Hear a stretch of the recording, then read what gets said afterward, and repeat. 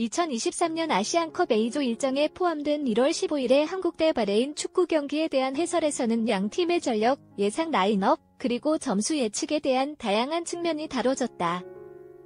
이번 경기는 한국이 최근 6경기에서 6전 전승을 거두며 대회에 참가하는 데 높은 기대를 받고 있으며 바레인은 최근 호주에 패배한 친선 경기를 통해 대회를 앞두고 리허설을 진행하고 있다.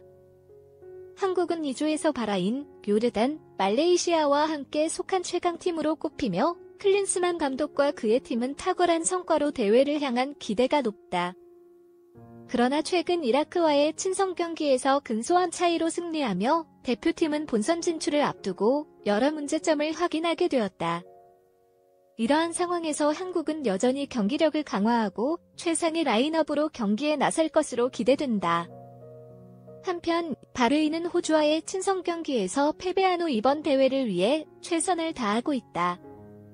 아시아 대륙에서는 여전히 12위로 선수들의 능력은 고려해야 하지만 한국과의 대결에서는 격차가 크다는 점에서 어려움이 예상된다.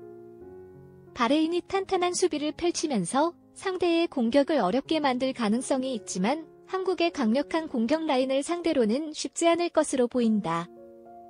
한국의 선수들은 유럽 리그에서 뛰고 있는 15명에서 26명까지 다양한 경험을 쌓고 있는데 이 중에서도 토트넘의 주장이자 잉글랜드 프리미어 리그에서 뛰고 있는 손흥민이 주목받고 있다.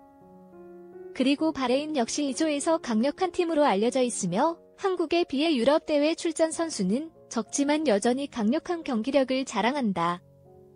마지막으로 예상 라인업과 함께 양 팀의 최신 정보를 고려한 경기의 결과 예측이 이루어졌다.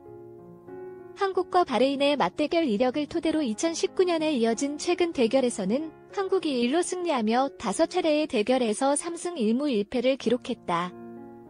이에 따라 팬들은 한국이 서아시아 상대에게 이번에도 승리를 거둘 것으로 예측하며 최종 예측은 2일로 나타났다.